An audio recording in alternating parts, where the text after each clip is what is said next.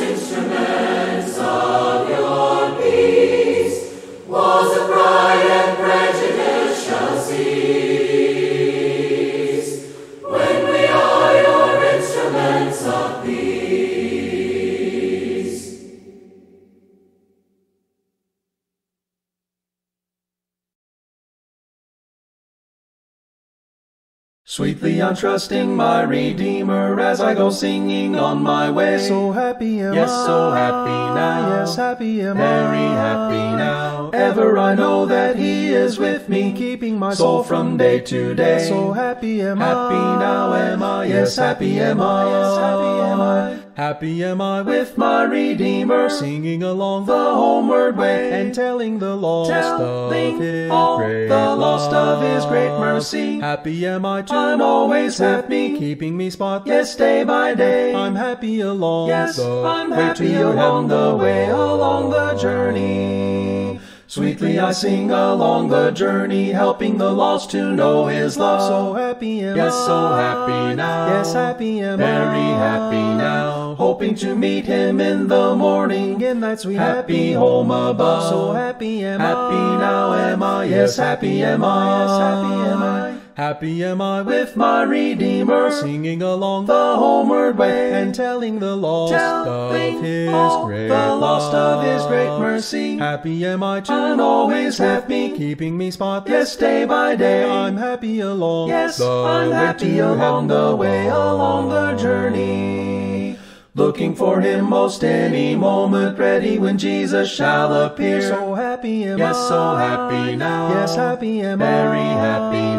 Keeping my lamp all trimmed and burning. Feeling is Coming now is near. So happy am I. Happy now am I. Yes, happy am I. Yes, happy am I. Happy am I with my Redeemer, singing along the homeward way, and telling the lost telling of His all great the lost of His great mercy. Happy am I to I'm always happy, keeping me spotless. yes, day by day. I'm happy along Yes, the I'm way happy along the way, along the journey. Will you pray with me? A great and awesome God in heaven, we come before you to thank you for a, another opportunity we've had to dive into your word and to sing praises to you and worship you together, Father. We thank you for this technology that we have today that even though we're supposed to be separate, we can still be together and we can still interact with each other, Father. Father, there are many on our prayer list that we ask uh, for healing from you, Father, uh, for guidance and for strength. Father, there are some who have lost loved ones, and we ask that you comfort them as only you can, uh, especially now that we're separate and we can't always rely on physical comfort from each other. Uh, we ask for an extra blessing from you on them, Father. Father, those who are under financial stress, Father, we ask that you bless them. Uh, you reassure them that you are in control and that no matter what happens, uh, you will take care of them, Father. and Father, we ask that you continue to forgive us uh, every day, as we know we need it every single day, uh, and that you will always be with us and you'll always keep us safe. We know that at the end, Father, we will get to be with you in heaven, uh, and by that is by far the best blessing you can give us. We thank you for everything. In your Son's name we pray. Amen. Bless the Lord, O my soul, O my soul. Worship his holy name. Sing like never before, O my soul. I'll worship your holy name. The sun comes up, it's a new day dawning. It's time to sing your song again. Whatever may pass and whatever lies before me. Let me be singing when the evening comes. Bless the Lord, O my soul, O my soul. Worship his holy name. Sing like never before, O my soul. I'll worship your holy name. You're rich and you're slow to anger. Your name is great and your heart is kind. For all your goodness I will keep on singing. Ten thousand reasons for my heart to find. To bless the Lord, O my soul, O my soul. Worship his holy name. Sing like never before, O my soul. I'll worship your holy name. And on strength is failing, the end draws near and my time has come. Still my soul will sing your praise unending. Ten thousand years and then forevermore. Bless the Lord, O my soul, O my soul, worship his holy name. Sing like never before, O my soul, I'll worship your holy name. I'll worship your holy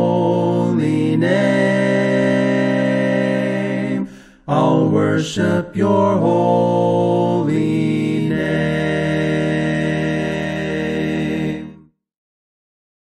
As the deer pants for the water, so my soul longs after you.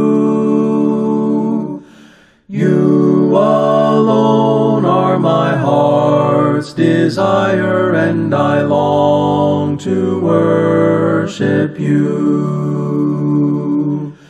You alone are my strength, my shield. To you alone may my spirit yield. You alone are my heart's desire, and I long to worship you. You're my friend, and you are my brother, even though you are a king. I love you more than any other, so much more than anything.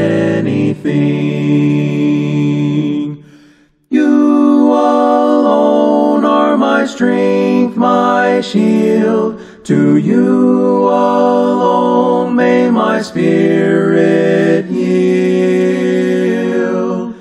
You alone are my heart's desire, and I long to worship you. I want you more than gold or silver, only you can satisfy. You alone are the real joy giver and the apple of my eye. You alone are my strength, my shield. To you alone may my spirit yield. You alone are my heart's desire, and I long to worship you.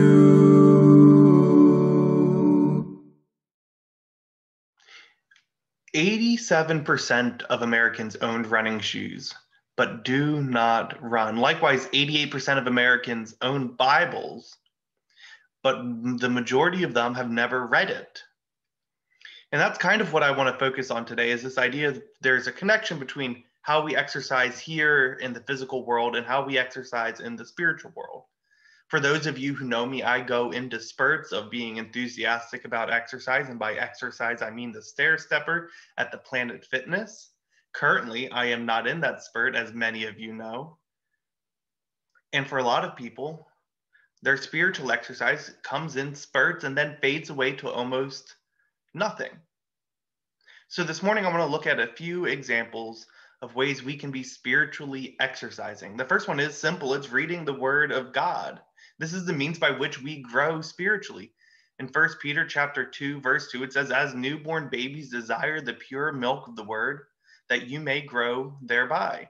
If we want to grow, we need this spiritual milk. We need God's word. We read similar things in the Psalms. In Psalm chapter 19, verses 7 through 10, it says, the law, the law of the Lord is perfect, converting the soul.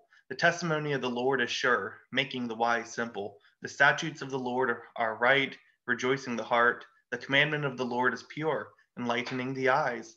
The fear of the Lord is clean, enduring forever. The judgment of the Lord are true and righteous altogether.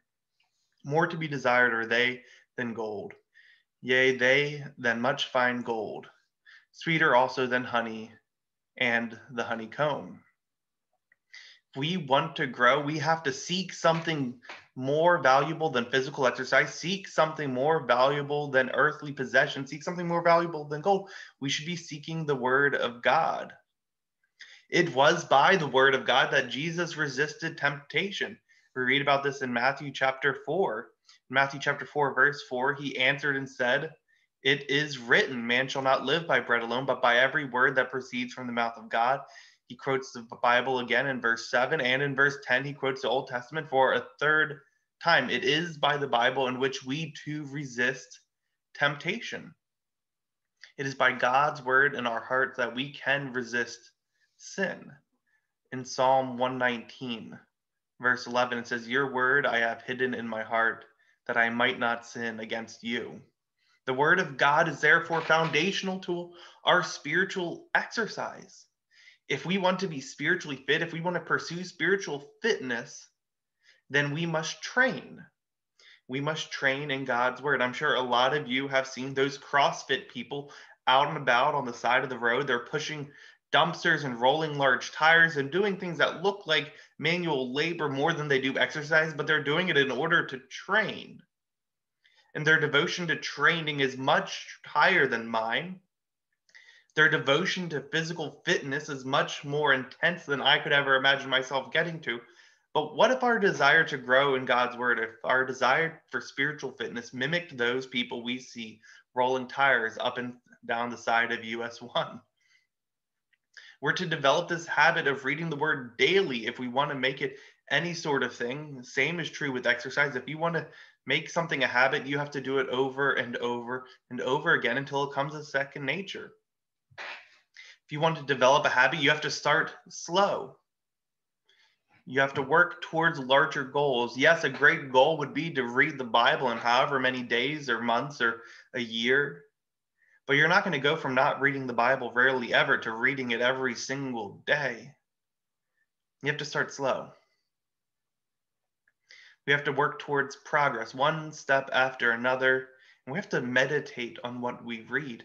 This is something that I think a lot of us forget. We get so caught up in, I'm going to read the Bible in a year or in six months, or I'm going to read the New Testament, or I'm going to read the Old Testament, or I'm going to read this or that we forget that we're supposed to actually understand what we read and not only understand it, but apply it to our lives. And that's a skill just as much as weightlifting is a skill. It's something that takes time and effort, something you have to work towards. So, if we want to become spiritually fit, the first step is to desire, to pursue, to develop ourselves in this spiritual milk, the Word of God. The second step that I'd suggest is spending time in prayer, for there is power in prayer, and we know there is power in prayer. But again, I think it's one of those things that we know but don't think about often. In Acts chapter 8, verse 22, it says, Repent therefore of your wickedness and pray God, if perhaps the thought of your heart may be forgiven you. Prayer is where we find forgiveness. Prayer is also where we find peace in Philippians chapter 4, verses 6 and 7. It says, Be anxious for nothing, but in everything by prayer and supplication with thanksgiving, let your request be made known to God. And the peace of God, which surpasses all understanding, will guard your hearts and minds through Christ Jesus. Prayer is also where we find our strength. It's where we find opportunity. It's where we find boldness. In Ephesians chapter 6, verses 19 through 20, it says, And for me, that utterance may be given to me that I may open my mouth boldly to make known the mystery of the gospel, for which I am an ambassador in chains, that in it I may speak boldly as I ought to speak. Prayer is also where we find wisdom. Now, I'm sure all of us can pray, God, please give me wisdom, and we can hope that one day we'll wake up much wiser. But unfortunately, that's not how prayer, praying for wisdom works when we pray for wisdom, God gives us opportunities for us to learn wisdom from. And so often we want wisdom, but we don't want to have to go through the process of learning it. So often the process of learning or gaining wisdom comes from struggle, it comes from hard times. And yes, that is an answer to prayers, but it's an answer sometimes we don't want. Prayers where we can find spiritual healing. Prayer is the foundation to spiritual fitness. Prayer is what we need dearly. As we read God's word, we should pray for wisdom. We should pray that God helps us apply it to our lives. We should pray daily for forgiveness and strength and opportunity for boldness, for all these characteristics that we know we need, but we're not quite there yet. We should pray for peace and healing and tranquility. We should pray earnestly, fervently in prayer, and with thanksgiving. Colossians chapter 4, verse 2 continue earnestly in prayer, being vigilant in it with thanksgiving. Consistent, fervent prayer strengthens our relationship with God. The third form of spiritual exercise that I'd like to bring up is this idea of singing praises. So often we sing to God in worship. We sing to God and worship in a church building or maybe even our own homes, but we do it almost out of habit. And yes, habit forming is a great step to getting something to become natural, to make it come as a second nature. But if you sing only out of habit, you're missing the purpose of singing. The purpose of singing is to praise God. Acts chapter 16, verse 25. But at midnight, Paul and Silas were praying and singing hymns to God, and the prisoners were listening. It's a type of spiritual sacrifice that we offer to God. We are sacrificing our time, our effort that we could be devoting to something else to praise God. It's a way to be filled, to feel God. Now, I know that we talk about worship isn't for us. And I understand that worship isn't for us. But if you go throughout a whole worship service, or if you're singing praises to God and you don't feel anything, I have high doubts that you're actually worshiping. And I know that's harsh. I know that's rude, but I'm telling you, I've been there too. I'm there fairly often. And so often I'll be singing out of habit instead out of praise, instead of out of awe. Our singing of praise is a way to respond to God's goodness. In James chapter 5, verse 13, is anyone among you suffering? Let him pray. Is anyone among you cheerful? Let him sing.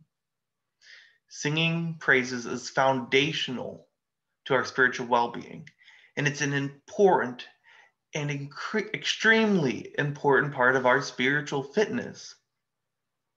We ought to be making praising God a part of our daily devotion. And I know that sounds hard. Where am I going to find the time? Where am I going to find the effort? Who am I going to sing with? Am I going to be doing this by myself in the corner of the closet? Well, maybe you are. But it's something that God deserves, and it's something that not only is for God, but we benefit from as well. Maybe we could sing while we drive, while we work, either quietly or aloud. But we're told to make melody in our heart. We're told to sing with grace in our heart. And that's what we ought to do. Singing enriches our souls and it fortifies our relationship with God. And those are things that we want, those are things we should desire, and those are things that are key to spiritual fitness. The fourth way of spiritually exercising that I want to bring up is this fellowship with one another. Fellowship was extremely important in the first church, and it continues to be extremely important in the 21st century. Fellowship then was a way to find a home to stay in. Fellowship then was allowing somebody into your home not only for worship but for meals. Fellowship now should be something similar. The church is the body of Christ. And the only way that the body can get anything done is if each part does its share. Ephesians chapter 4, verses 15 and 16 say, But speaking the truth in love may grow up in all things into him who is head, Christ, from whom the whole body joined and knit together by what every joint supplies, according to the effective working by which every part does its share, causes growth of the body for all. If we want to grow, if we want the body to grow, we have to work with one another. We must fellowship with one another. Our assembly is designed to stir one another to love and good works. Hebrews chapter 24, or Hebrews chapter 10, verses 24 and 25. And let us consider one another in order to stir up love and good works, not forsaking the assembling of ourselves together, as is the manner of some, but exhorting one another. And so much for the so much the more as you see the day approaching. I've seen Hebrews chapter 10, verses 24 and 25 taken out of context and applied to so many different things. And out of all those things I've seen it apply to, very rarely do I see it applied to stirring one another up in love and good works, despite that being exactly what the verse says. Our fellowship is a source of comfort, it's a source of edification, it's a way to become closer to one another. Frequent fellowship is crucial to remaining faithful and steadfast.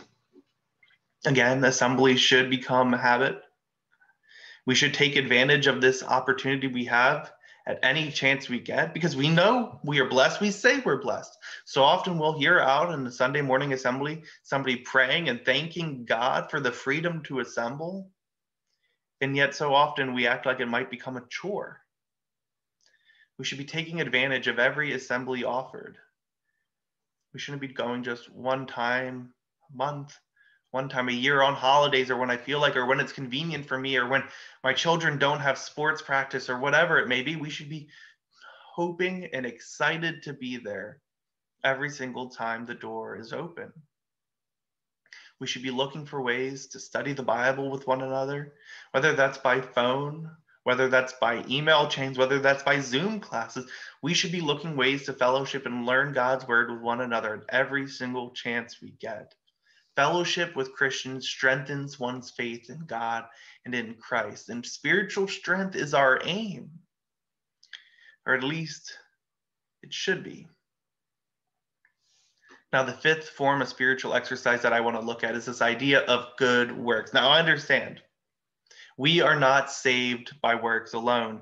We read that in Ephesians chapter 2, we read that in Titus chapter 3. But we are created in Christ to do good works, to glorify God. Again, you read that in Ephesians chapter 2. For we are his workmanship, created in Christ Jesus for good works, which God prepared beforehand that we should walk in them. Or Matthew chapter 5, verse 16 Let your light so shine before men that they may see your good works and glorify your Father in heaven. You should do good works for multiple reasons, but the two we read about here is one, it's why we are created in Christ. We are made new in Christ. We are raised in his resurrection, buried in his death for this purpose. And by this purpose, others can come to know God by the works that we do. We are to be fruitful in every good work that we participate in, Colossians chapter 1, verse 10. And we're not to grow weary in doing good. And I know that one might be harder to assess on yourself. I know this year, especially in the year past, 2020 and 2021, starting to feel like four letter words at this point. But it's easy to grow weary right now in doing just about anything but we're not to grow weary in doing good. 1 Corinthians chapter 15 verse 58 Therefore my beloved brethren be steadfast immovable always abounding in the work of the Lord knowing that your labor is not in vain. Good works are essential if we are going to reap spiritual benefits. We should be sharing the gospel with those who don't know it or those who do. We all need a reminder. We should be ministering to our brothers and sisters in Christ and to those who are not. We should be ministering to them both physically and spiritually. We should be using our resources, our time, our money, our talents to help the poor, the sick, the widows. Each day, we should try to do something that blesses another person. Good works, done often, build spiritual endurance. And endurance is the key to any fitness routine. The goal when exercising, when lifting weights, when running, when doing the stair stepper, stair stepper at the Planet Fitness that is now sitting next to the Rancho Chico. It's a dangerous game, I know. But the goal of all of those things is to build endurance goal of reading the Word of God, spending time in prayer, singing praises, fellowshipping, and doing good works, we need to build endurance in those things so that we can do them often, so that we can do them with a cheerful heart, so that we can do them to glorify God, and so that we can grow in them, so that we can grow closer to God through our physical exercise. Exercise, I know, at this point in the year, we just had New Year's just about a little over a month ago at this point. I think a lot of us are already over exercised if we even made those silly New Year's resolutions this year. But exercising our brains, our hearts, and our souls for the glory of God is something worth working towards. Exercising yourself toward godliness, for bodily exercise profits a little, but godliness is profitable for all things, having promise of the life that is now and that which is to come. 1 Timothy chapter 4 verse 7 through 8. Yes, physical exercise is great. Physical exercise does have benefit, but spiritual exercise has a promise of life now and to come after. Spiritual exercise can give you life now, it can give people around you life now, but it also can give you and the people around you a life to come. And that's the true goal. I hope you enjoyed this lesson this evening.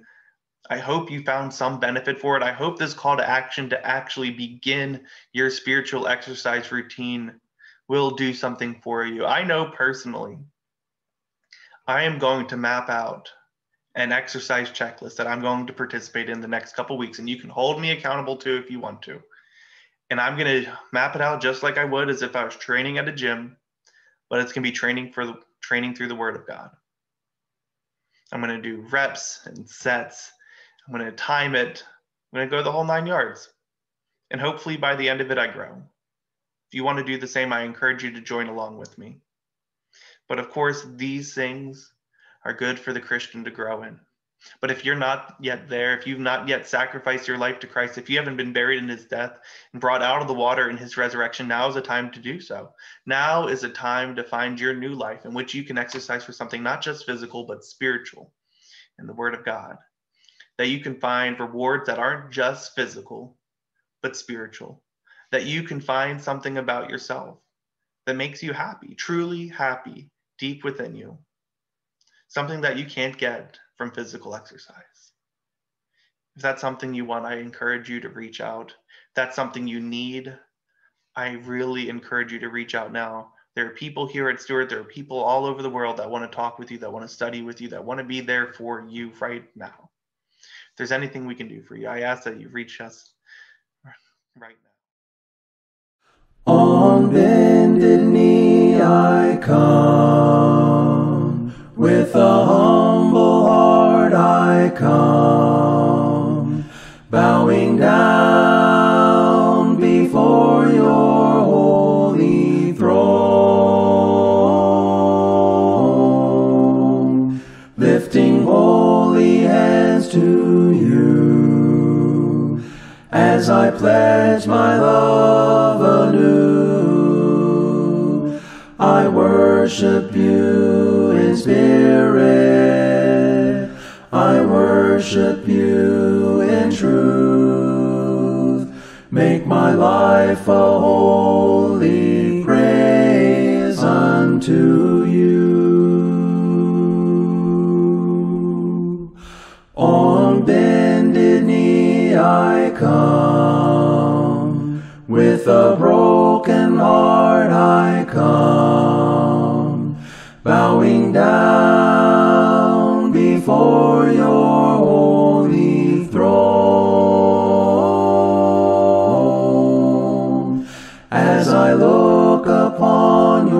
face, show your mercy and your grace.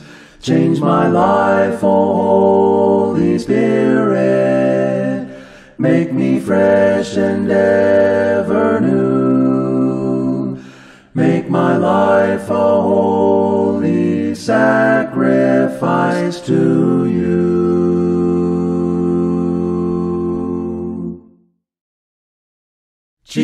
Jesus, Jesus, Jesus,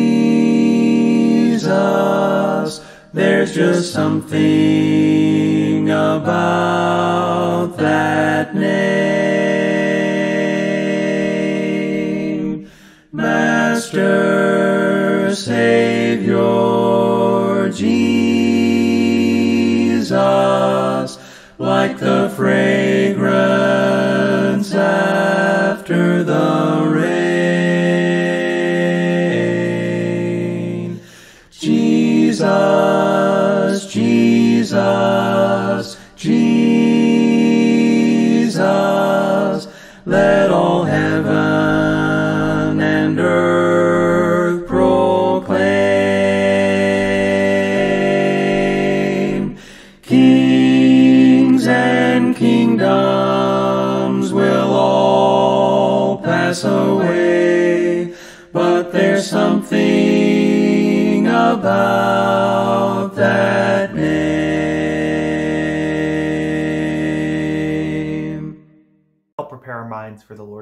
like to read a verse from 1 Corinthians chapter 11. This is the Apostle Paul speaking, the author of the book. For I pass on to you what I received from the Lord himself. On the night when he was betrayed, the Lord Jesus took some bread. He gave thanks to God for it. Then he broke it into pieces and he said, This is my body, which is given for you. Do this in remembrance of me. In the same way, he took the cup of wine after supper, saying, This cup is the new covenant between God and his people, an agreement confirmed with my blood. Do this in remembrance of me, often as you drink it. For every time you eat this bread and drink this cup, you are announcing the Lord's death until he comes again. Will you give thanks for the fruit of the vine and the bread with me? Dear Lord our Father, we are so thankful for everything that you have given us.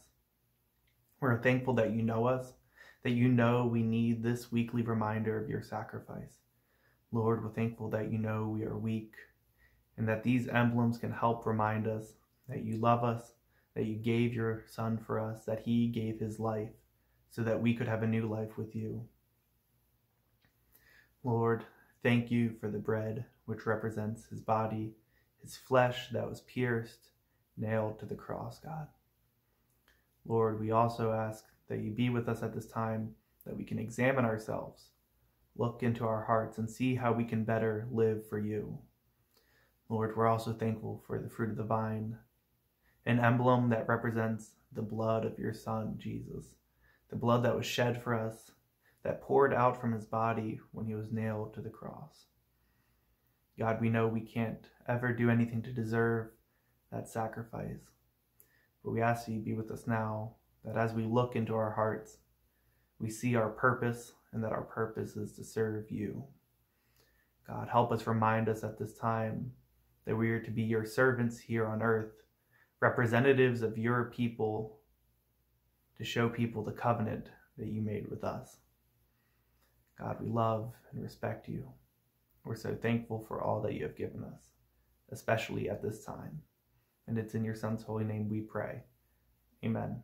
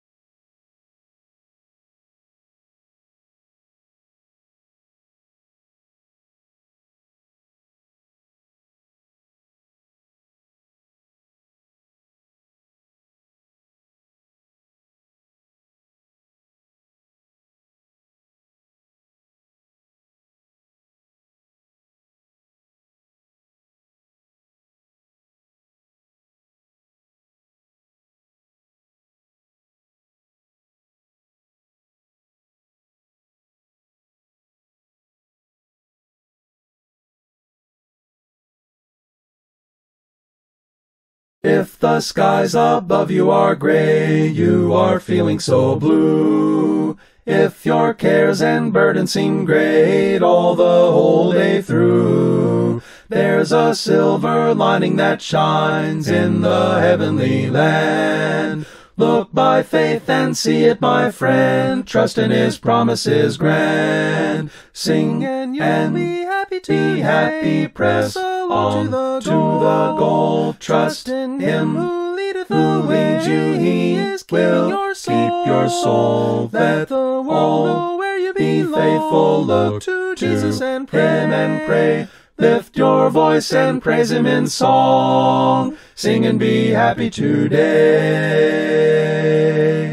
Often we are troubled and tired, sick with sorrow and pain. There are others living in sin, blessed with earthly gain. Take new courage, we cannot tell what the morrow may bring. When the dark clouds vanish away, then your heart truly can sing. Sing and you'll and be happy be happy, press on to the to the goal. Trust in Him who leadeth the who way. leads you. He is keeping your keep your soul. Let the world all know where you be belong. faithful. Look to to Jesus and pray. Him and pray. Lift your voice and praise Him in song. Sing and be happy today. Oft we fail to see the rainbow up in heaven's fair sky. When it seems the fortunes of earth frown and pass us by. There are things we know that are worth more than silver and gold. If we hope and trust Him each day, we shall have pleasure untold. Sing and you'll and be happy be happy, press on to the goal. Trust in Him who leadeth the way. leads you. He is will your soul. keep your soul. Let the world know where you be belong. faithful. Look to Jesus and pray. Him and pray. Lift your voice and praise Him in song. Sing and be happy today.